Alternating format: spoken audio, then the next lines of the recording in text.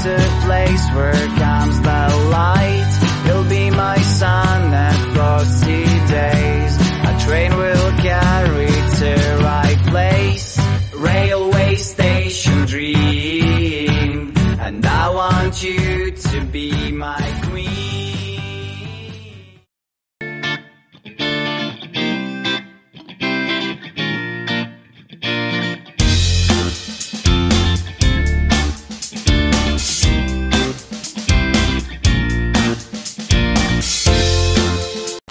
Perfect na perfect na product talaga for you to try.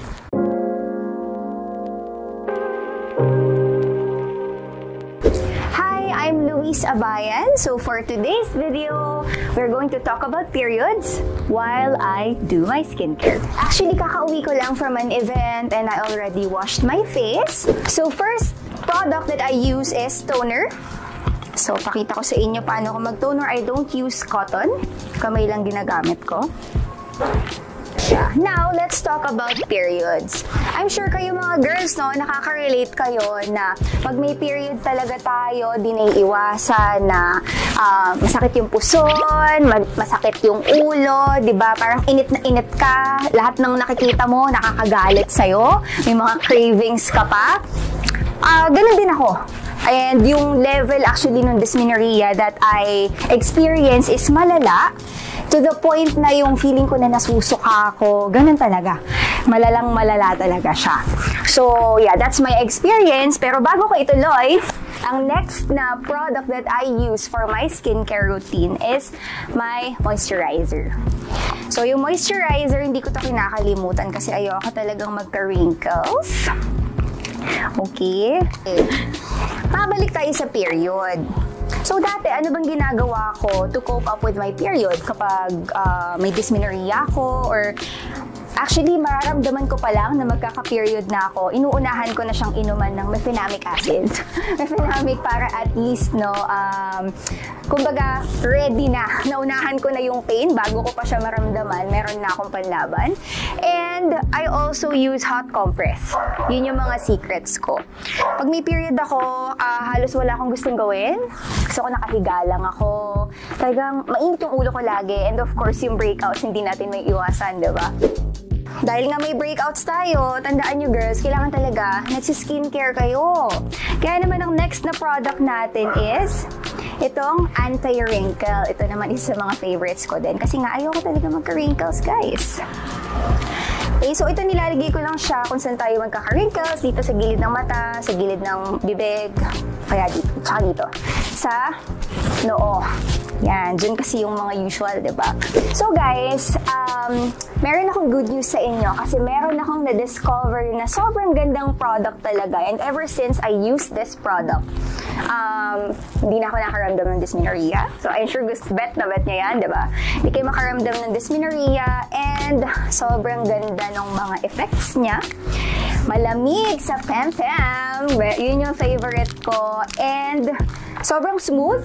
So, i-reveal ko na kung ano yung product, which is K-Pads.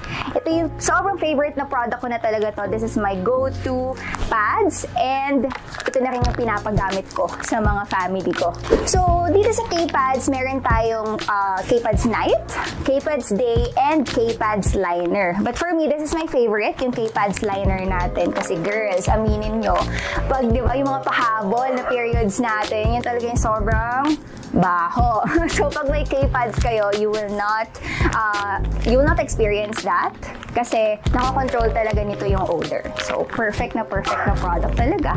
Ang maganda dito sa K-Pads na compared dun sa mga nagamit kong panty liners before, dito sa K-Pads, pag ito yung gamit mo, actually ako, galing ako ng event, whole day ako nasa event, but until now, fresh pa din ako down there. So, ganun yung kinagandahan nito kasi mentally ang feeling nito eh. And it's super soft, so parang wala kang gamit na panty liner at all. Wala din siyang himol-mol, girls. So, switch na kayo sa K-Pads.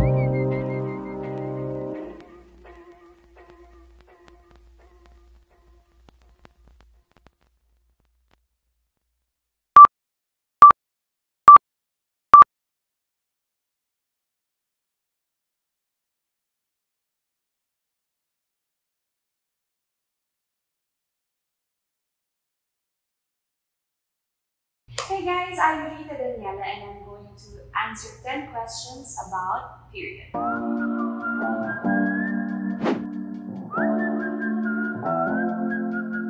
Depends talaga, pero usually, pinaprepare ko na yung sarili ko kapag ka mag-second and third day na ako kasi doon talaga ako nagkaka-dysmenorrhea.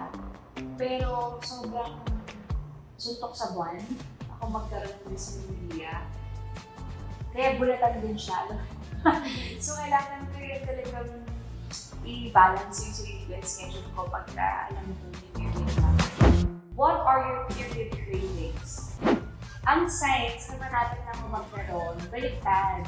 Ako kasi, bago ko magkaroon, hindi ako super na nakaroon ng cravings. During the time na may period ako, hindi ako kumakain. Kasi ako, yung food ko nabibigatan na ako. Parang there's, there's inflammation down there. What's your idea of a perfect sanitary pad?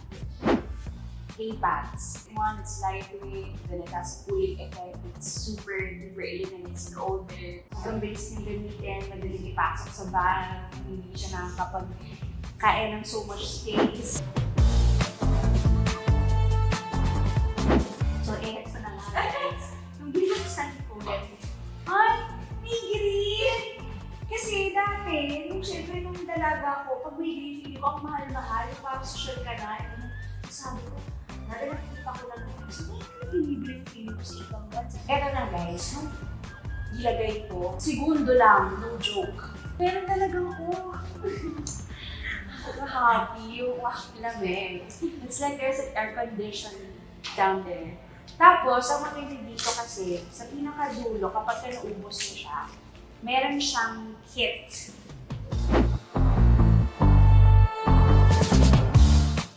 No! I cannot talaga. Minsan may ganun tayo ng desisyon sa buhay. Yung alam mo meron ka, tapos yung lakas ng loob mo, puputi ka pa din. Kasi ganun yung lakas ng tiwala mo dun sa pads na bibili mo. Tapos biglang push. Hello. Gusto ko lang matulog. Tapos, yun lang usually talaga na nililipit ako. Pagka gano'n na kasi, I, I just drink meds for it. I get longer packaging. Kasi that's, that's one thing eh. Ako, I'm, I'm super picky with that. Kasi totoo yun eh. Siyempre ako, customer pa din ako, I'm a buying customer, di ba? Kapag ka yung packaging, parang feeling mo, uh, parang tayo dito. So, hindi ko siya. With K-pads, yung packaging nila, nakakahappy.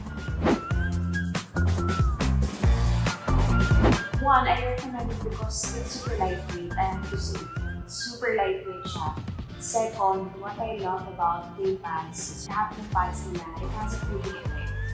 And it really helps. Thank you so much for having me. Bye, this is Rita.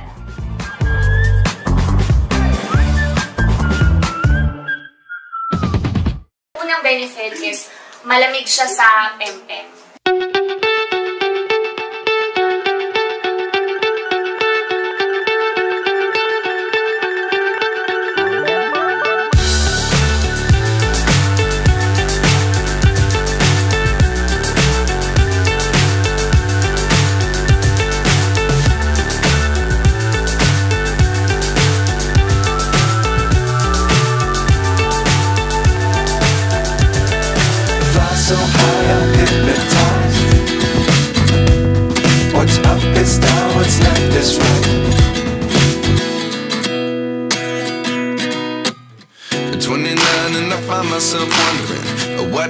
To the last 10. I ran away with my life, fast forward, never turn back again.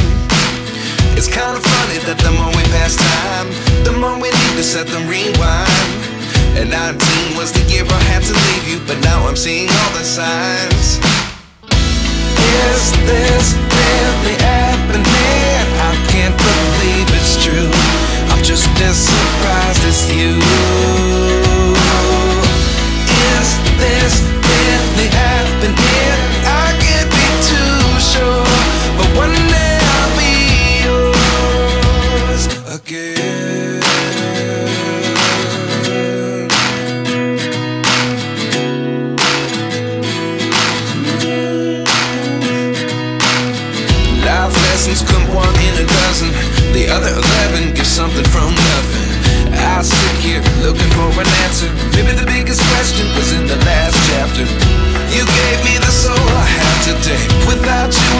could have moved away, but now I see what you teach. I do believe I always